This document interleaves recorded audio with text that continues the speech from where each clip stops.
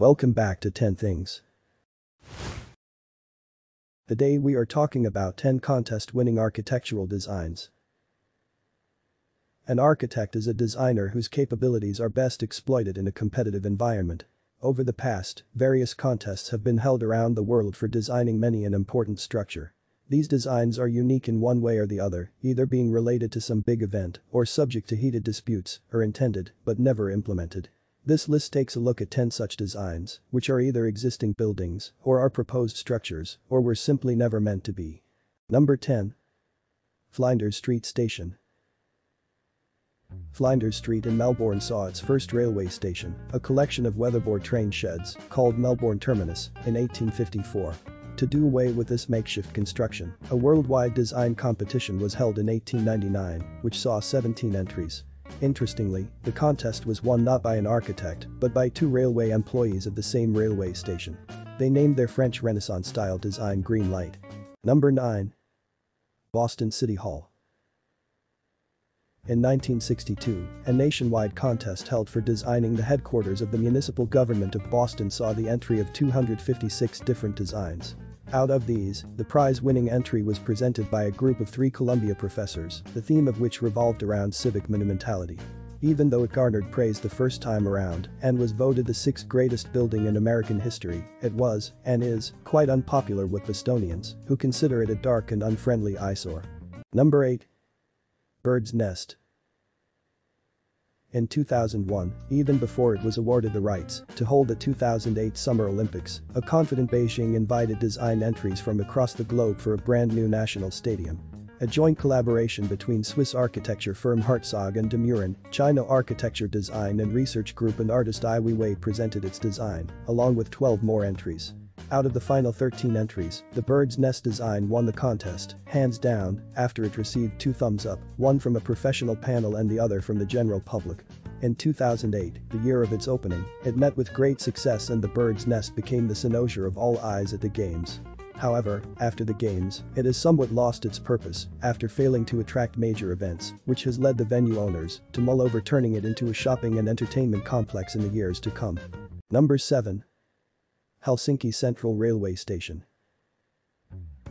This railway station, an important landmark in Helsinki, was built as a result of the growing popularity of the railways in the early 1900s. In 1904, Eliel Saarinen, father of to-be US architect Eero Saarinen, gave a winning entry for a contest held to design the new station. His design, a pure national romanticist design, which was picked out of a total of 21 design entries, was rubbished soon after demands of a more modern design cropped up in heated debates. Saarinen gave up the idea of romanticism and came up with an altogether new design, which was finished in 1909 and the station finally opened in 1919. Number 6. Vilnius Guggenheim Hermitage Museum in 2011, Lithuanians were to become the proud owners of a unique museum. In 2008, three renowned architects gave their submittals in an international contest held for designing a Guggenheim at Vilnius, namely Massimiliano Fuksas, Daniel Libeskind, winner of the WTC Rebuilding Contest and Zaha Hadid. Pritzker Prize winner, British-born Iraqi architect Zaha Hadid won the evenly matched competition for her unique mystical object hovering over spindled artificial landscape strip concept. On February 5, 2011, the Guggenheim Museum Initiative passed over Vilnius and gave the honor, instead, to Helsinki. Number 5. Hiroshima Peace Memorial Park. In 1949, four years after the bombing of Hiroshima City, an architecture competition for the design of a memorial park was held. Winner of the 1987 Pritzker Prize, Kenzo Tange won the competition, in which he envisioned the Peace Memorial Park as the city's spiritual core. The park remains as the most popular destination in Hiroshima for visitors from all over the world. Number 4. White House.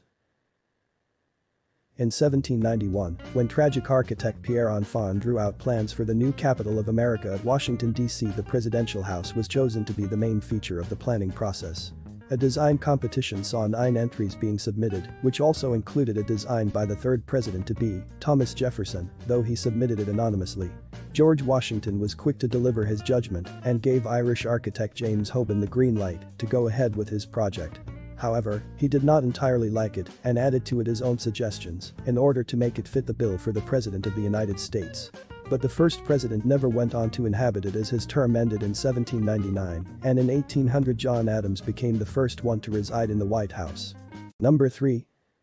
Palace of Westminster.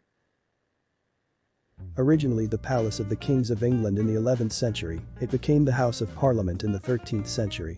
A slew of fire incidents resulted in the setting up of a royal commission, which looked into the process of its reconstruction. At a time when neoclassical design was the flavor of the time, the commission decided to go on with a conservative Gothic-style design amidst heated public debates. The commission invited proposals from architects and got 97 of them. Architect Charles Barry's Gothic-style design was finally chosen to become what is today known as the Houses of Parliament. Number 2. World Trade Center in 2002, the Lower Manhattan Development Corporation released designs for rebuilding the World Trade Center. The designs, which were thought too timid and unambitious evoked negative response from the public. A design competition was thus thrown open to all architects over the world. Polish-born American architect Daniel Libeskind's Freedom Tower won the contest. Like his Jewish museum, he used symbolism for emotional impact. The building's height, 1776 feet, reflects the date of American independence, and a spire atop the building resembles the raised arm and torch of the Statue of Liberty. Later another design competition was held, in 2003, for a memorial. This time the winning design, reflecting absence, was submitted by architects Michael Arad and Peter Walker. Furthermore, in 2006, British architects Norman Foster and Richard Rogers as well as Japanese architect Fumihiko Maki designed three additional glass towers which descend in height from Freedom Tower and, together with Freedom Tower, encircle the planned memorial.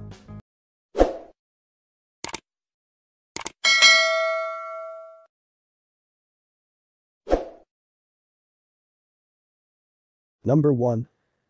Palace of Soviets the newly formed Soviet Union decided, in 1922, to build a Congress Palace which would serve as their administration headquarters. In February 1931, a contest was held for architectural firms, but failed to yield any result. On July 18, 1931, a much publicized second contest was held, attracting famous architects like Le Corbusier but for a conservative decision by the jury, of which Stalin was part, which caused an uproar amongst the avant-garde architects. Unfortunately, this time too there was no clear winner. This was followed by two more rounds, which respectively invited 15 and then 5 design teams. Finally on May 10, 1933, architect Boris Iofan's neoclassicist design was chosen, and he was declared the winner. The Cathedral Church of Christ the Savior, which stood on the site, was demolished on orders of the Soviets and work began on the foundations until war broke out in 1941 and work never resumed.